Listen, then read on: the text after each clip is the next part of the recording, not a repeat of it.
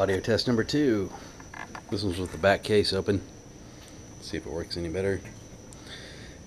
As you can see, we got the inner shock towers of a 73 Ford Maverick, which is the same as the uh, pretty much the original Ford Falcon and anything based off of that afterwards.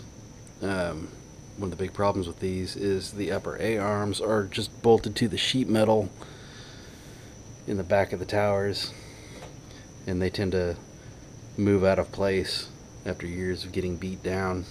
So one of the things I need to do is put these back into place and uh, put something else in to, to brace those that's more out of the way than the original shock tower so that I can fit a larger engine and headers in here but this is mainly just for an audio test just to see how this works